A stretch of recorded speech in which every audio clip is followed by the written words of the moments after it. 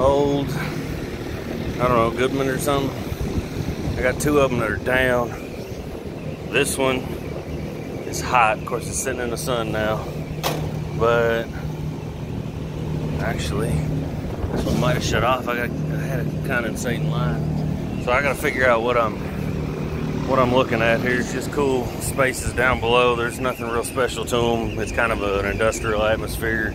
They're uh, in rough shape. They get taken care of, but it's hard in the environment they live in. This one looks off too. So figure out exactly which ones I want and go from there. So I've decided this sight glass is cleared. Coil probably needs to be clean. Look, the line's a little high, just sitting in the sun. But this is going to be one of my guys because it's not running at all. Um, and then the other one, it looked like it was condensating, but shut off. I'm going to start there because this one's not doing anything, and I don't want anything to get worse. So let's start with the one that looked like it may have been running at some point. Right, so I got no call here. Looks like I've worked on it in the past. Lots of people worked on it in the past. Uh, fixed some leaks in the evaporator. It looked like it was running. Don't push contactors in.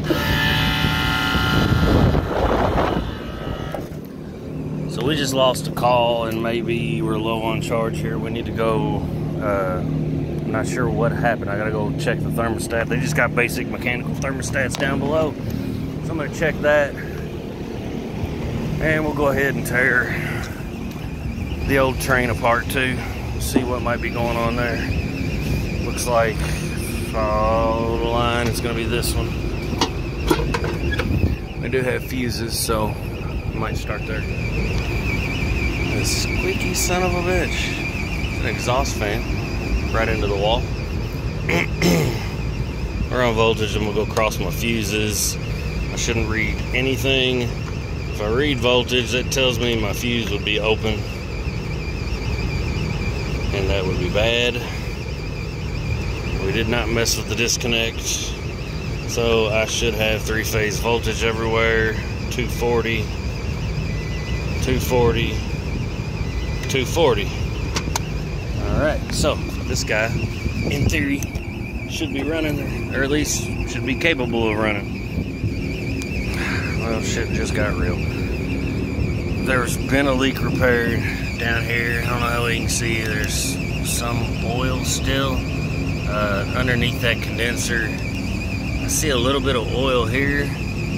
Can see the rub spot there on the back side of that line. That's gonna be where I guess my uh, leak is. I mean, somebody took the time to repair this and put this little, this is like a hard piece of rubber under that line so it doesn't rub the bottom and yet completely disregarded that just a little piece of plastic and pull that line off a little bit would have would have saved this leak. Low pressure switch, one side of power that I have, 24 volts to common. Here to there, I got 24 volts. Um, switch is open, so it's not feeding through the switch. Back to my contactor coil. So I'm gonna be, I'm suspecting out of charge. I don't know what, you'll never read the switch, but I might put some nitrogen on this guy and probably, just, hopefully just fix that leak. It'll be quick and easy to fix.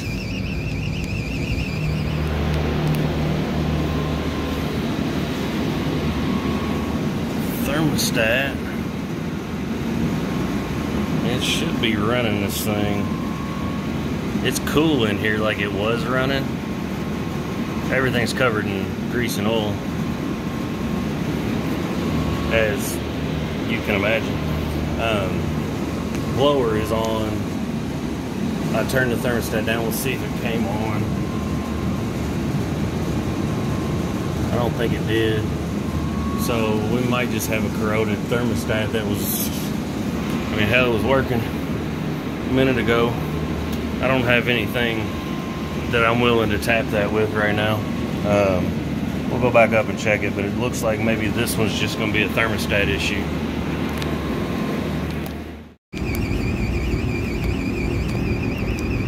Gonna assume that this guy is empty just because of where I suspect the leak is. Oh, she's very empty. So let's put some, I gotta get some nitrogen up here. That it's, um, I bet it's on this side right here because I can feel it. Yeah, that's all the way through. Can't really get you a great look at it. All right, let's go. Let's go high side, low side. It's gonna be right here, guaranteed. Yep, right there. That's good enough for me. I do. I would like to see it come back. Tell me I'm not. It's coming up, so that's a good sign. We're gonna hit both of these spots and then we'll pressure test for a little while. Ain't no sense in wasting no more nitrogen. The repair looks good. That ain't gonna leak. I hit up that backside that wasn't leaking and then, then that right there. We just hit a long line and the big spot in the middle. Wrapped it all the way around. So I was trying to start at the bottom and just put the rod on top. Rod will follow your heat. Surprisingly, I'm holding, I've set it right above 100 and I I ain't moved an inch. So it's been about, probably about 20 minutes. I'm gonna let it sit for a little bit longer. I gotta get all my vacuum stuff up. Let's close the gas ballast. By the time I finished grabbing my uh, uh, refrigerant, taking down a tank, I'm at 800 microns. Now I'm pulling on my micron gauge too, but eventually we'll isolate here and it's gonna rise but I'm actually surprised it stopped. So basically you're looking for, you're doing a decay test, you're gonna see some rise on your vacuum. Uh, Review a Vacuum, amazing book. If you don't like to read, go to the end of the book and read uh, the BluVac stuff and Bryan Orr's stuff. At the end is good information He'll poke holes in all your other hose theories. I so. never would have expected to see 300 and some microns. Let's isolate. So, doing a decay test basically now. Again, you're it's gonna go up until you hit your actual micron level, especially because I'm only pulling through one side. Um, and then we should see it level off, just like it did before. It leveled off at what, a thousand, what, 1200 or something but uh, we'll let it sit for a minute. I'm pretty happy with just just hitting 300 microns is amazing for this thing. I never would have expected that, but we'll let it sit for a minute. Probably, still gotta clean some shit up. We'll dump some charge and run. Run as fast as we can.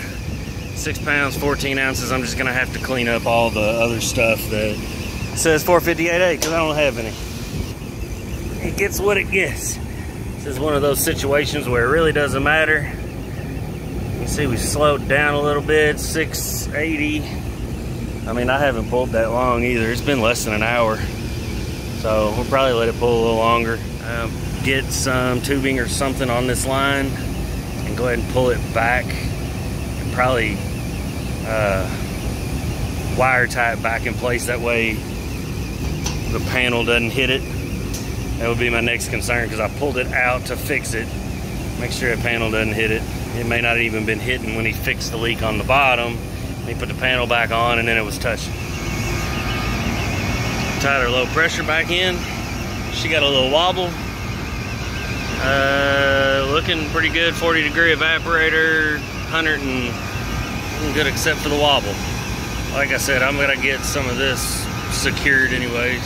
We got cold suction, and from what I can see is liquid in my sight glass. Yeah, we're probably 90 outside. We're running one, what is that, 110? 110, 90. Uh, actually, it's probably less than 90 now. Clouds came back out, but you know, 20, 30 degrees over ambient, 40 degree evaporator. One of those industrial, just like the chiller stuff. It's got to fix it. Need it now, not yesterday. And I'd like to get home in a reasonable hour. Um, so I did what I did. This is what I had.